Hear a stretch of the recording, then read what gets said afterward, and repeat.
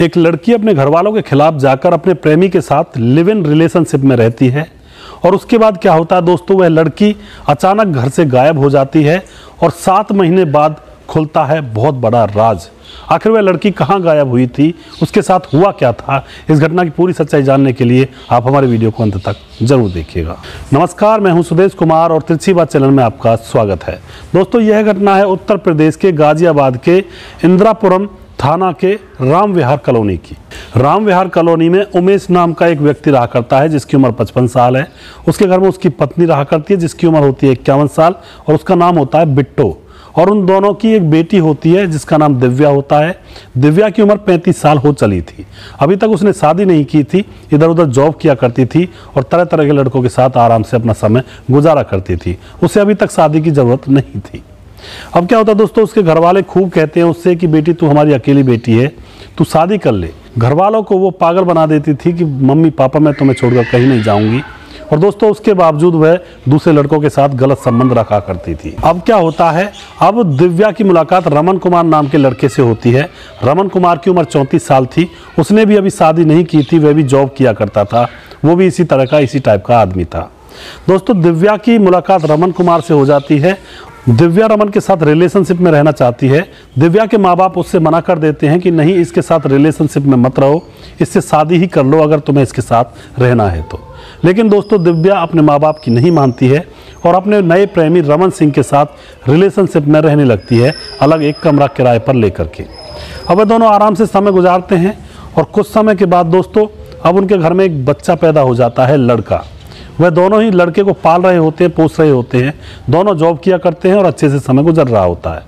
लेकिन दोस्तों यहाँ पर रमन कुमार के जो माँ बाप थे उनको ये पता नहीं था कि उनका बेटा आखिर शहर में क्या गुल खिला रहा है। वह तो उसके लिए शादी के लिए लड़की ढूंढ रहे थे। दोस्तों अब क्या होता है? उन, उनका जो बेटा होता है वह दो साल का हो जाता है।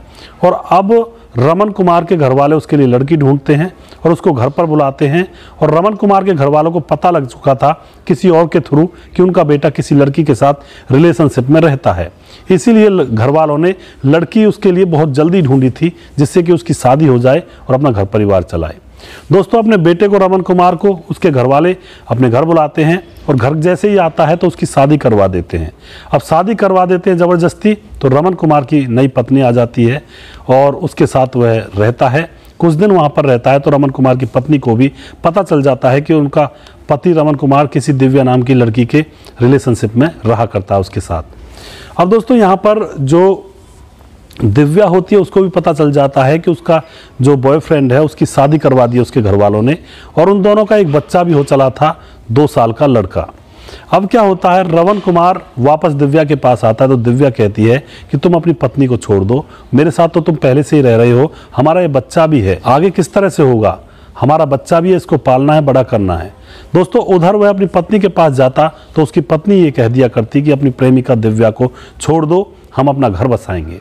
अब वह पूरी असमंजस परिस्थिति में हो जाता है अब दोस्तों वह फंस जाता है, वह किसके साथ रहे? अचानक दिव्या अपने घर से गायब हो जाती है और फिर क्या होता है, रमन कुमार अपने बेटे को लेकर पुलिस थाने पहुँचता है और वहाँ जाकर कहता है कि, साहब, मेरी जो पत्नी थी दिव्या, वह घर से गायब हो चुकी है। अब इस बच्चे का भरण पोषण मुझे करना पड़ रहा है, उसको ढूंढ दीजिए। दोस्तों, यहाँ पर जो पुलिस होती है, वह थोड़ा सा इस मामले को डिले करती है। रिपोर्ट तो दर्ज कर लेती है, लेकिन उसमें ज़्यादा कदम नहीं उठाती है। और जो दिव्या की माँ बाप थे, वह यह समझ रहे थे कि हमारी बेटी सही है, खुश है। लेकिन जब उनको पता चलता है कि उनकी बेटी घर से गायब हो चुकी है तो वह भी तड़पने लगते हैं। और वह पुलिस थाने में जाकर रिपोर्ट दर्ज करते हैं और वह साफ़ साफ़ कहते हैं कि साहब हमारी बेटी के साथ जो लड़का रहा करता था रमन कुमार, उससे आप पूछताछ करिए, आपको सब पता चल जाएगा।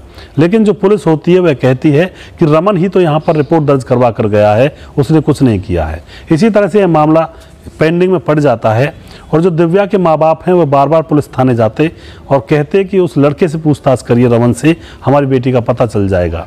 दोस्तों, जब तीन चार बार वह पुलिस थाने जाते हैं तो पुलिस के दिमाग में भी एक बात उठती है कि क्यों ना उस लड़के से पूछताछ की जाए।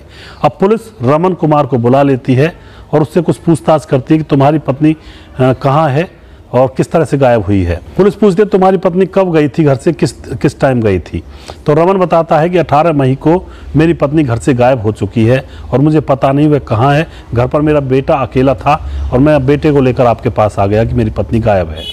अब दोस्तों, पुलिस उसकी कॉल डिटेल्स चेक करती है, उसके फ़ोन की सीडीआर लोकेशन वगैरह निकाली जाती है।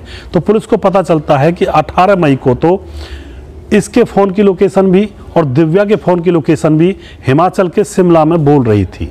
यानी कि ये दोनों हिमाचल शिमला गए हुए थे। लेकिन यहाँ पर रमन कुमार ने बताया कि मैं तो घर पर ही था, मेरी पत्नी यहाँ से गायब हो गई।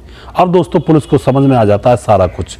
अब पुलिस रमन को उठा लेती है, सख्ती से पूछताछ की जाती है तो रमन सारी घटना बयां करने लगता है। रमन कहता है कि मेरी गाँव में भी शादी हो गई थी और इससे मैं रिलेशनशिप में रह रहा था और ये दोनों ही कह रही थी कि एक दूसरे को छोड़ दो। यानी कि मेरी पत्नी इसको छोड़ने के लिए कहती और दिव्या मेरी पत्नी को छोड़ने के लिए कहती, मैं मजबूर हो गया था, परेशान हो गया था।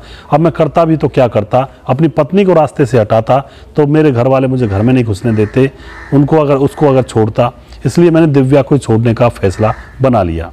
और फिर इसको घुमाने के लिए 18 मई को हिमाचल ले जाता हूँ। हिमाचल के शिमला में, और वहाँ जाकर पहाड़ी के पास में इसकी गर्दन को घोट कर इसको जान से मार देता हूँ, और इसकी लाश को फिर वहीं पर फेंक देता हूँ। उसके बाद वह अपने बेटे को गोद में लेकर पुलिस थाने पहुँचता है कि साहब, इसकी माँ गायब हो गई है घर से, उसको ढूंढ निकालिए। उसके बाद दोस्तों, पुलिस शिमला के पुलिस थाने में फ़ोन करती है और वहाँ पर पूछती है, क्या तुम्हें कोई डेड बॉडी मिली? तो शिमला कि जो पुलिस थाने में फ़ोन की जाती है तो वह बताते हैं कि हाँ साहब, आज से सात महीने पहले हमें पहाड़ों के बीच में एक लड़की की डेड बॉडी मिली थी और हमने शिनाख्त भी करवाई, लेकिन किसी ने उसको पहचाना नहीं था। इसलिए हमने उसका अंतिम संस्कार कर दिया। कुछ फ़ोटो हमारे पास हैं, उसके हाथ पर एक टैटू था, उसके कपड़े और उसका फ़ोटो भी हमारे पास है।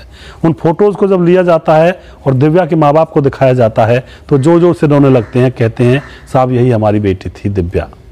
अब दोस्तों, पुलिस तुरंत रमन कुमार को अरेस्ट करती है, उनको, उसको जेल में भेज दिया जाता है, उसके ऊपर मुकदमा दर्ज किया जाता है। तो दोस्तों, यहाँ पर वही बात हो गई, अवैध संबंधों का जो अंजाम होता है, बहुत ही खतरनाक, बहुत ही दर्दनाक होता है। यहाँ पर दिव्या ने अपने माँ बाप की बात नहीं मानी। उस लड़के के चक्कर में फंस गई और फिर लड़के ने ही उसको मौत के घाट उतार दिया। इस तरह की घटनाएँ समाज के अंदर हो जाती हैं। आजकल ये बहुत ज़्यादा चलन चला हुआ है लिव इन में रहने का, रिलेशनशिप में। और फिर दोस्तों, ये कहते हैं कि भाई एक दूसरे को पहचान लेंगे। ये कौन सा तरीका होता है एक दूसरे को बिना शादी के पहचानने का? यहाँ पर यह बहुत ही गलत है। यह हमारी सभ्यता नहीं है, यह पश्चिमी देशों की सभ्यता थी, जिसको यहाँ पर लागू किया गया है। यह भारतवर्ष है और यहाँ के नियम, कायदे, कानून अलग हैं, जो कि बहुत ही अच्छे हैं हमारे समाज को सही दिशा में चलाने के लिए। लेकिन दोस्तों, आजकल कुछ उल्टा ही चला हुआ है। लोग एक दूसरे के साथ लिविंग में रह लेते हैं।